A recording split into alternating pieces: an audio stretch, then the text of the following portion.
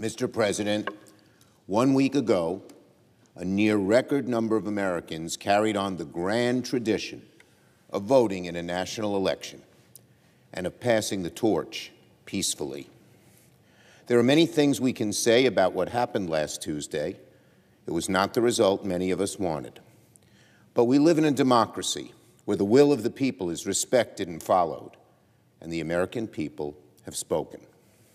I congratulate President-elect Trump on his victory, and I look forward to speaking with him soon. And I congratulate Vice President Harris and Governor Walz for running a historic campaign. They can be proud of the incredible work their team has done over the last four months. The values Vice President Harris ran on will live on. Individual freedom, opportunity for all, and working together to build a safer, stronger nation. And for those of us who have been given the honor of representing the people of our states, we look forward to serving, to governing, to working in a principled and bipartisan fashion to reward the trust the American people have placed in us.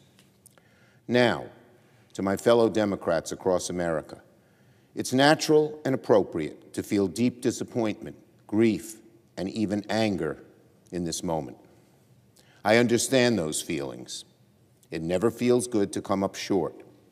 But when you do, you get up, you dust yourself off, you learn, and you prepare to do better in the future. You study what occurred. We will do that. You listen to what voters are saying, and you find ways to make government responsive to those wants and desires, those dreams, those needs. And you also take the approval of the voters from places we each represent those voters who sent us back to the Senate and carry forth the principles we campaigned on and we won on. And you find ways to put those principles into practice as much as possible while finding ways to work in a bipartisan fashion to get things done. As I told my caucus this week, we should regard this election not merely as a defeat, but more importantly, as a challenge. The American people have presented us with a challenge, and we must answer the call. We have to look at what we did right, what we did wrong, and what we didn't do but should have done. First, we have to look at what we did right and continue to pursue those goals. Many of our Senate colleagues, after all, are returning to the Senate despite facing strong headwinds. I'll say more about that in a moment. Second, we have to understand the things we did wrong and how we must change. And third, we have to look at what we didn't do but should have done. We'll have these important and necessary conversations in due course, and everyone must have a seat at the table. We must be honest, we must be practical, and we must never abandon the roots that have defined the Democratic Party for generations. To Democrats who were back around in 2004, remember the grief we felt back then? It was a tough election, for sure. But what happened afterwards? We got back to work to regain the trust of the American people. I was proud to be part of that process as chair of the DSCC, and just two years later, the tide turned in a dramatic way. Finally, before I turn to the Senate, let me say this. I hope that after last week we can put to rest the fantasy of stolen elections and rigged outcomes. Four years ago, the losing side refused to accept the will of the people, and it led to a violent insurrection at the U.S. Capitol. This year, we will not go down that dark and violent path. Now, let me go on to the Senate. Last Tuesday, brought a mix of success and disappointment for Senate Democrats. In the final analysis, we hoped for a better result. As happens from time to time, control of this chamber will change from one party to the other. To Senator Brown and Senator Tester, we could not be prouder of the races you ran. More importantly, we could not be prouder of the legacy you have built here in the United States Senate. You are some of the finest people I've ever worked with in this chamber. To both of you, I say thank you. Job well done. Job well done. I've spoken to both Senators Tester and Brown a couple of times this past week, and they're not the ones to get down on themselves. They're not ones to get down on themselves. They're going to be just fine, and they'll continue to do great things for their home states and for our country.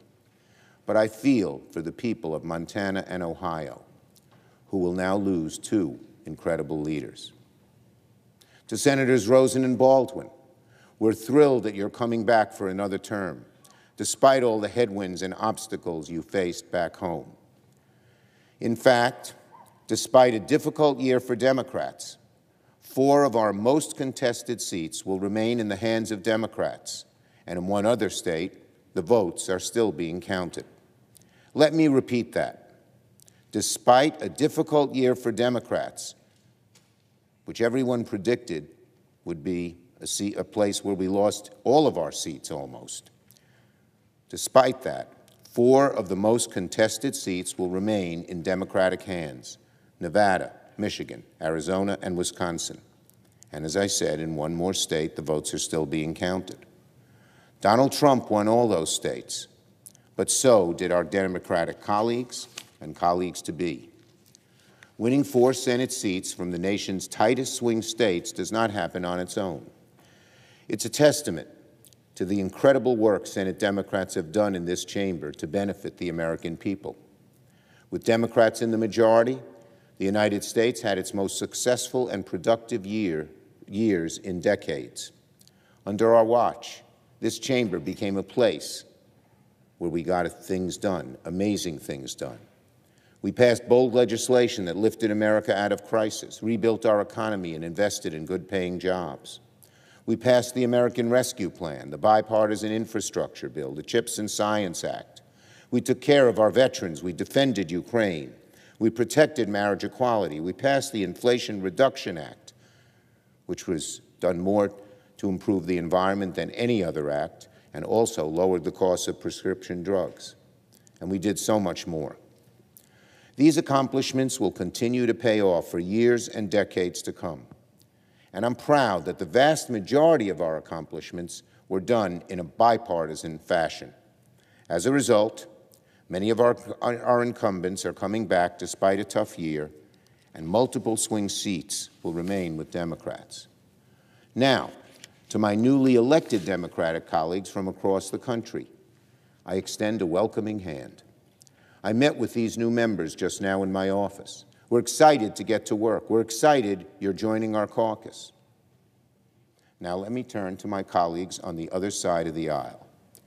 Another closely contested election now comes to an end. To my Republican colleagues, I offer a word of caution in good faith. Take care not to misread, misread the will of the people, and do not abandon the need for bipartisanship. After winning an election, the temptation may be to go to the extreme. We've seen that happen over the decades, and it's consistently backfired on the party in power.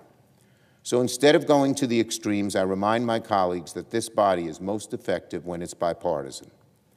If we want in the next four years the Senate to be product, as productive as the last four, the only way that will happen is through bipartisan co cooperation. Democrats will be ready to do what we have consistently done Work with both sides when the opportunity arises. Democrats will never abandon our values, but neither will we reject an opportunity to move the ball forward to make people's lives better when we can. The question is now whether or not Republicans are willing to do the same. To my colleagues on the other side, once again, do not abandon bipartisanship. It's the best and most effective way to get things done. It was true in the last four years and will be true in the years to come. Finally, let me end with this. For millions of Americans, particularly those on this side of the aisle, this is a difficult moment. But as John F. Kennedy once said, let us not despair, but act. Let us not despair, but act. Let us not give up on the dream that is America. Instead, let us do what those who came before us have always done Let us persevere. Let us persist. Let us get to work. I yield the floor and note the absence of a quorum.